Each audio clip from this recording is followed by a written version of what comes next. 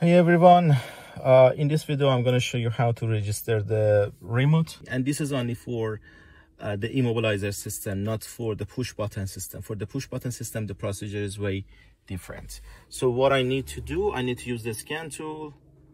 Uh, I select my car,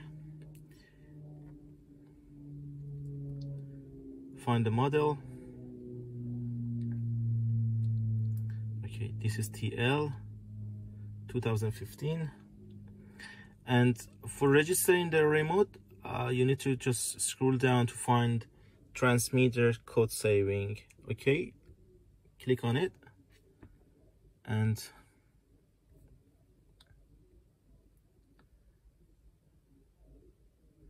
okay this is the code saving. Remove the ignition key from the key cylinder and wait for 10 seconds. After that connect the DLC and 16 pin uh, connector. Oh, yeah, I have already connected the scan tool, so I remove this one. So I need to wait for 10 seconds. After that, I press enter. So this is the first transmitter saving.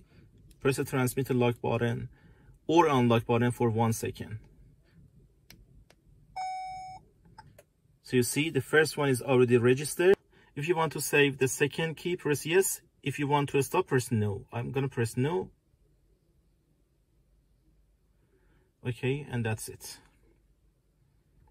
I go out. And I test the remote. And you see, remote is working perfectly. Thank you very much for watching.